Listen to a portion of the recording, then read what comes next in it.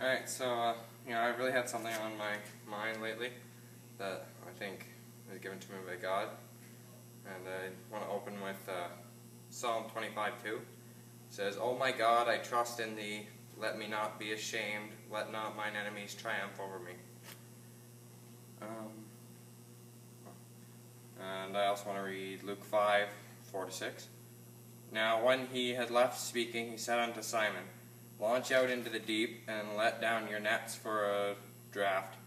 And uh, Simon answered, said un, uh, Simon answering said unto him, Master, we have toiled all the night and have taken nothing. Nevertheless, at thy word I will let down the net. And when they had done this, they enclosed a great multitude of fishes, and their net brake. So, you know, this just made me think, you know, like when the fishermen, you know, they're, they're coming in from a hopeless night of fishing and they just feel like nothing in the world could have gone more wrong. You know, they're probably just going to go home, crawl into bed. Like, and then Jesus comes along and he tells them, like, have faith in me and do what I say and everything's going to work out. Yeah.